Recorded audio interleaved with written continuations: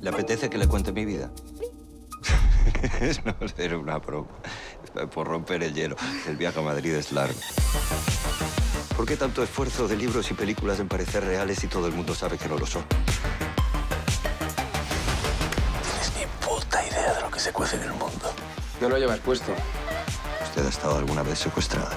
Yo que soy muy fetichista. ¡Mentira!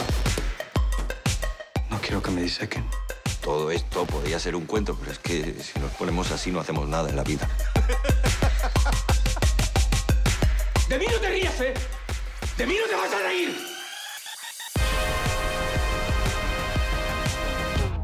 Ahora que me he tapado los micrófonos podemos hablar.